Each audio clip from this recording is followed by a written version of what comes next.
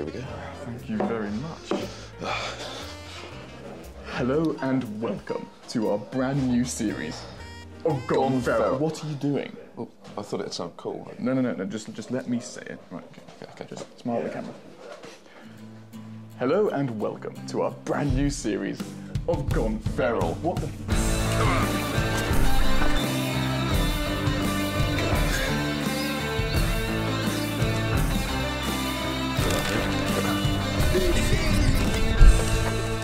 Yes, we're back. And this time, we've been even further afield in search of wildlife and adventure. Yeah, that's right. And this week we have a rather special film to share with you. It's a film we shot back in summer when we decided it was about time we went looking for something quite unique.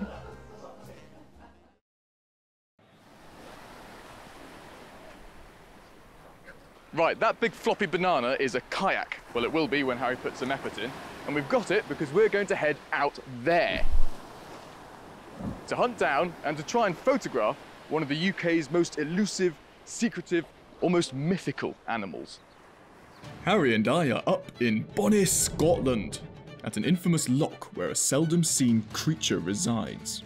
Some people are doubtful that this creature even exists here, but some of the locals claim they've seen it, although that might be just to bring in us tourists. And the creature I'm on about, obviously, is the wallaby. So we inflated our floppy banana and donned our finest aquatic adventuring gear. One defense mode, one attack mode. and then tackled the delicate subject of ballast. Obviously, Harry's going to have to go in the back. You want me to go in the back? Yeah. What are you trying to say? You're trying to say I'm heavy, I mean. And then we set off to find some wallabies. Why are you laying in the seat? You need to. I missed the seat. You need to sit in the seat. This was our first time paddling together as a couple, but being true professional adventurers, it was no issue. What did you? I was giving you perfect timing. Right. No, it doesn't work. Left. Right. Your other right. This right. I was dead in sync. I was dead in sync. We're pointing back where we came from. We're meant to be going over there. We continued to spin our way across the loch towards one of the islands, where we hoped to find the wallabies. Now, the reason the wallabies are on the island is thanks to one lady, Fiona Gore, who's later known as Lady Arran Colquhoun.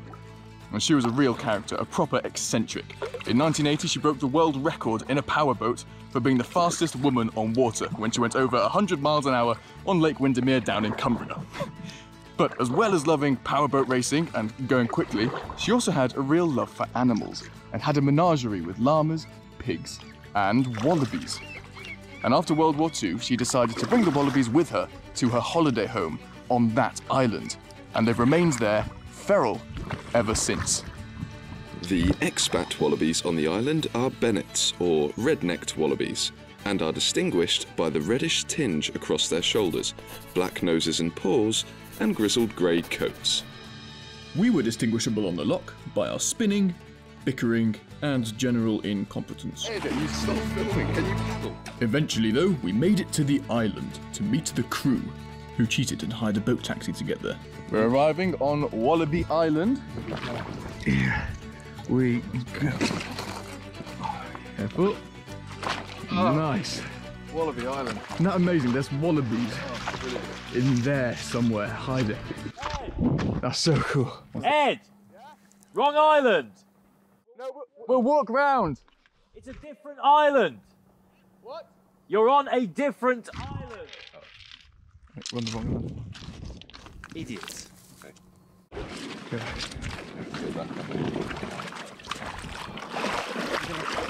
Yeah, good job.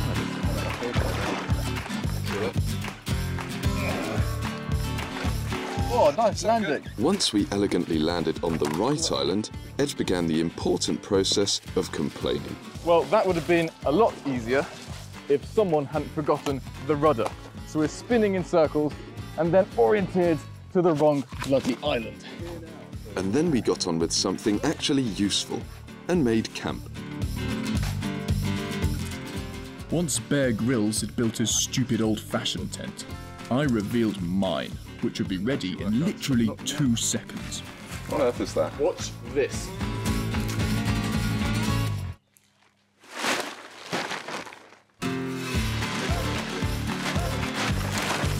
I hope it blows away. and after those two seconds, it was time to boot up and head out.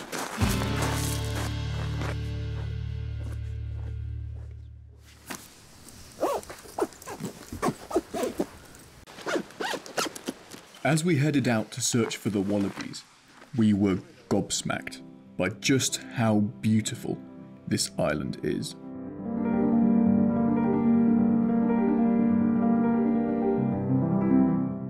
The ancient loch, carved out by glaciers during the last ice age over 10,000 years ago, protects the island from the heavier foot traffic and noise pollution of the mainland.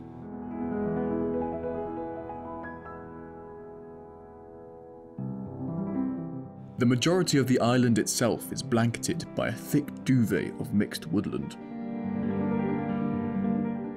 Some dappled light does manage to break through the foliage though, helped by gaps in the canopy where older trees have taken a tumble. This light is just enough to carpet areas of the island with fabulous and rather funky mosses, like this common haircap, and ferns stand tall and proud, perfect for hiding wallabies in.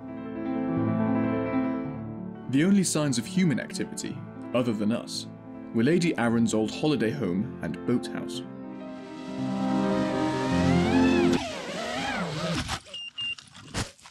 Right, enough of that. Let's find some wallabies. Wallabies are crepuscular, which means they're most active at dawn and dusk. So if they are here and they're out, this time of day will be our best chance to see them.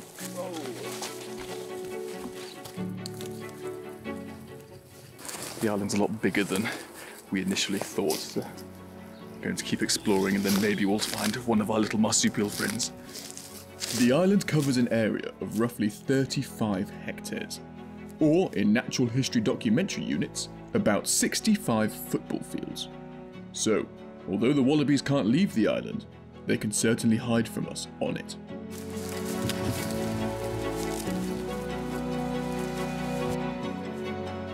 Harry's tracking methods, which seemed to mainly involve asking stupid questions, weren't helping either.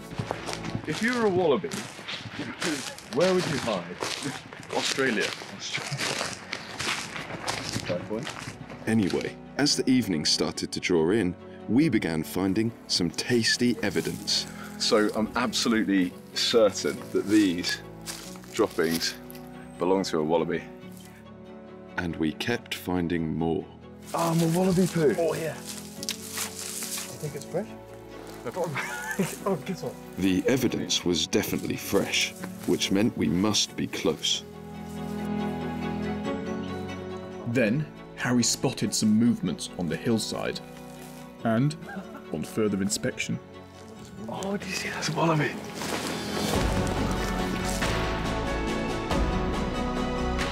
bingo.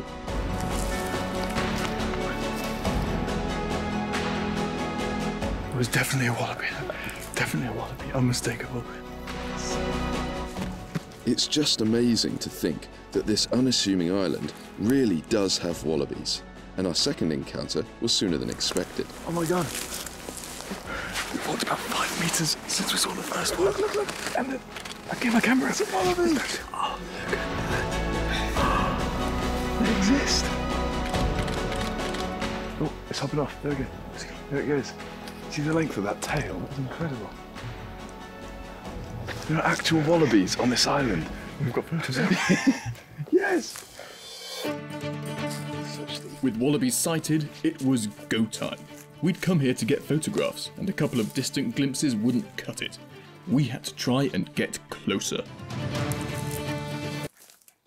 Which happened rather suddenly. Turns out the wallabies hadn't moved that far at all.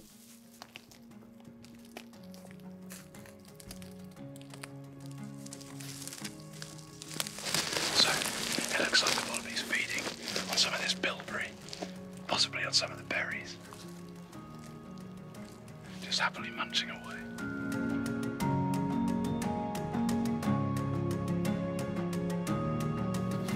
Photographing wallabies in Scotland. Welcome to Gone Feral.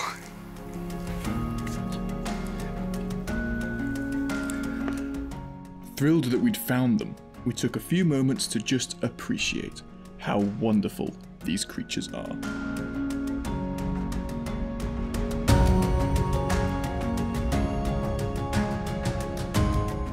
Red-necked wallabies are marsupials, which means their young are born prior to being fully developed, and the female wallabies have a pouch on their belly where the young continue their development after being born. Their hopping method of locomotion is thanks to their characteristically hefty legs that thrust them along, whilst a long, strong tail helps them keep balance. As a result, their forearms are used far less for manoeuvring and instead are used more like our hands for grabbing and interacting with things. Grasses, leaves, and herbs are the preferred foods of this herbivore, and that's why they have long faces, like deer, to leave plenty of jaw room for the large, flat teeth needed to chew the vegetation. The wallabies are native to the eastern, more temperate parts of Australia and Tasmania, which is not too dissimilar to southern Scotland, so they seem to be living a very comfortable, secluded life here on the island.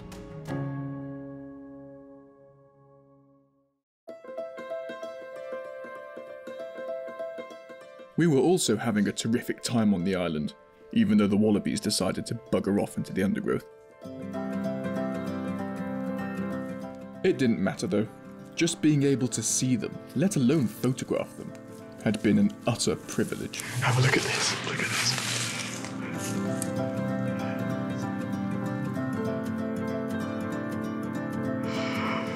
I never thought I'd be getting a shot like that in Scotland. Bloody brilliant. We carried on searching, but no more wallabies appeared as we lost the light. So we headed back to camp. I think we're going to leave it there for today. Yep, the light's going. We're quite tired out, so we'll have a bite to eat, and we'll try again in the morning. Nice work, man. Yeah, well done.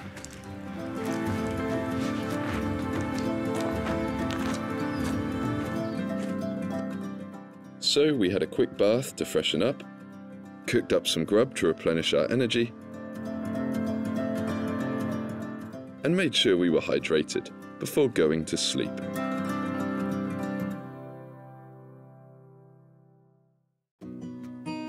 First thing in the morning, we headed out again, determined to find more wallabies.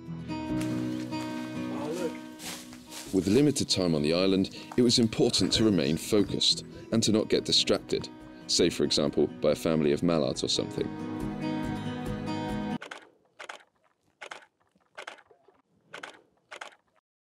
In our defense, they were bloody adorable, even getting too close for photos at times. The fellas, move back a little bit. Back a little bit. Oh, that's cool. I'm gonna get up, I think, because my belly is quite wet.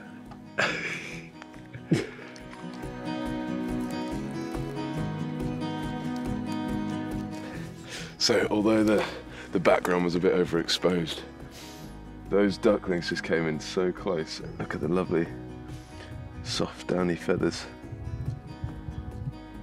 Absolutely adorable. Let's see. Rubbish.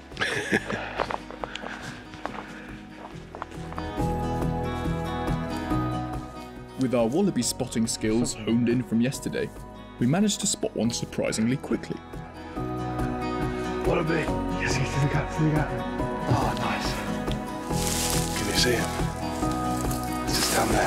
Where is it? And cameraman Tom also managed to spot it. Uh, eventually.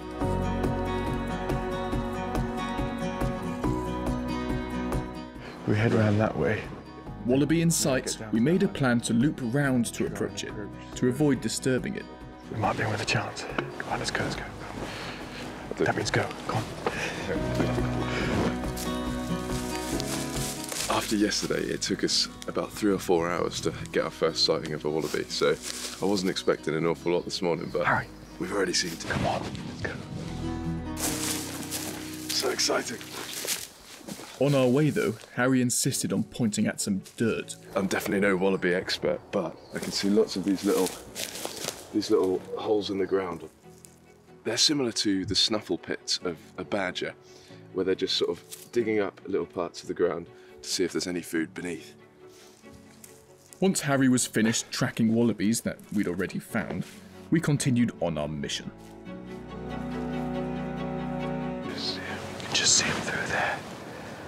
That's so cool how they move.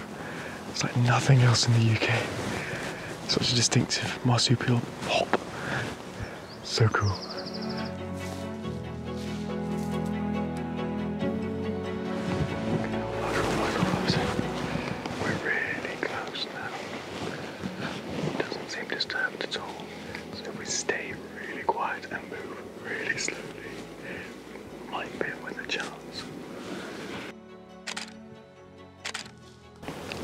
Just through the vegetation. One problem with moving slowly in summer in Scotland is that you very quickly become the epicentre of a midge festival. But it was undeniably worth it.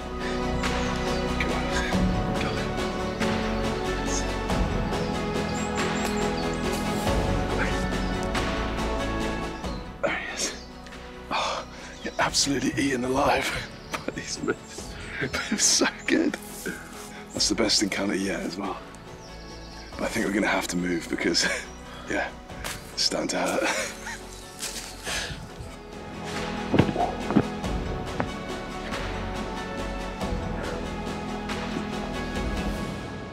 And then, just like yesterday, it turns out the wallaby hadn't moved more than a few metres. I didn't think he'd be right here. He's just sat in the ferns looking at us.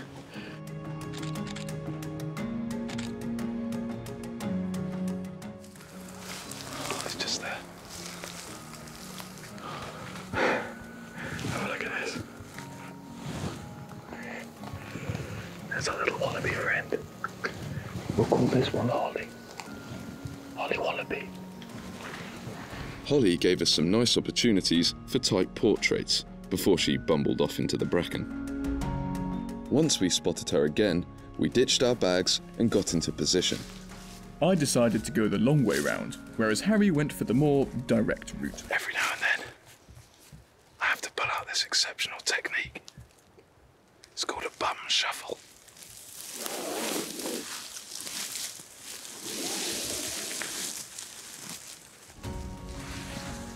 Amazingly, Harry's method seemed to actually work.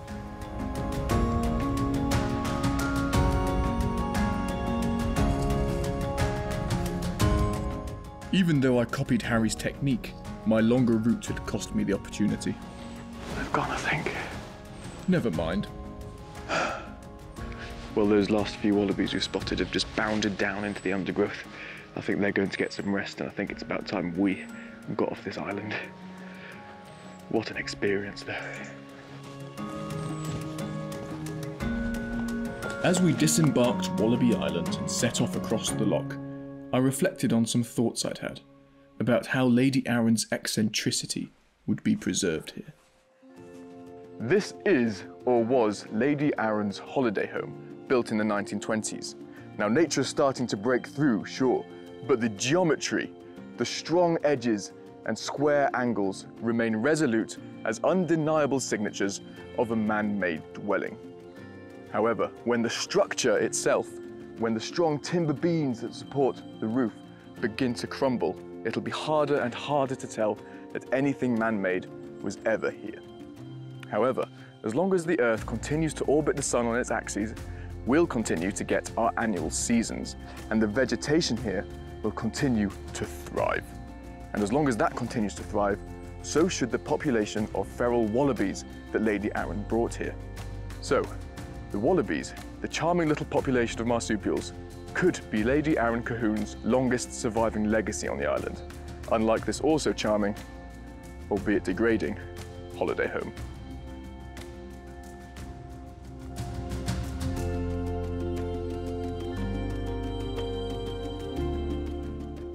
Finding wallabies had been unforgettable, but managing to also get some photos made the whole experience even better.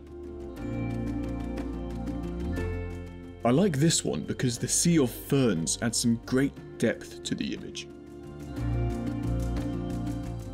With this one, I also made the most of the ferns, instead using them to frame the wallaby.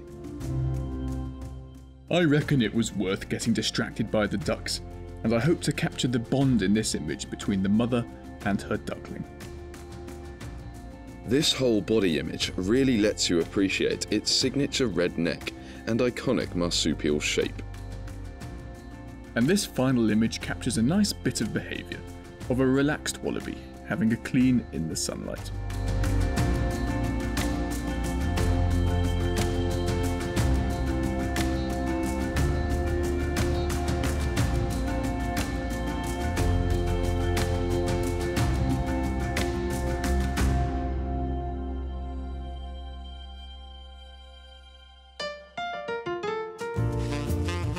That was so much fun. Absolutely brilliant.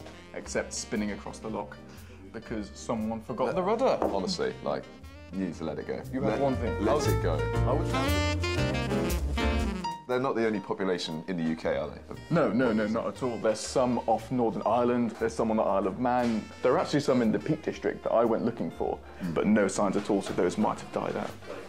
I think it's worth mentioning as well that they are clearly non-native, and the ones we saw on the island, they're quite self-contained. It's not like they're trying to swim off and get to the mainland. They don't need to. There's plenty of food there for them. But we don't know the long-term impact on the ecosystems that they have. So they could be damaging, which is why it's absolutely not worth experimenting and putting them into the broader wilderness, because it could have severe knock-on consequences. Next week, Harry goes shopping. What exactly is this? It's Tentagus. And Ed gets papped. See you then. See you then.